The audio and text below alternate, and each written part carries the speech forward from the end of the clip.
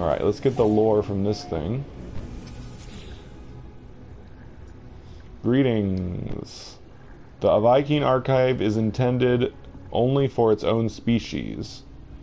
Ancient audio equipment drones in a low frequency, seemingly expecting a voice command.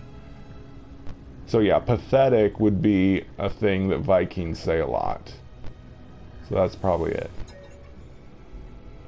Archive access granted. I'm so good.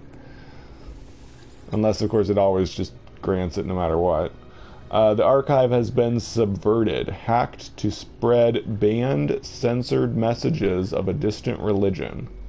The Korvax are wounded, broken creatures, believing their death cries are logic. They drown themselves in communion to forget their pain. They shall not help us.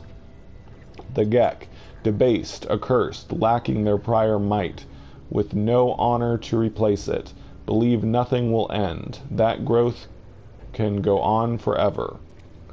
It has been the ancients and those who followed to discover our future. But what have they found but dust? Impotent Graws? No. I wonder what the ancients are.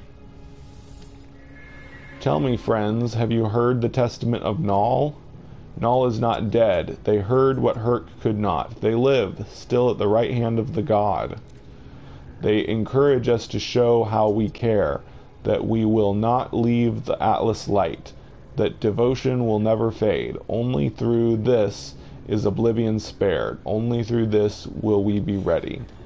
Interesting. I wasn't aware that the the cult of Nal worshipped the Atlas.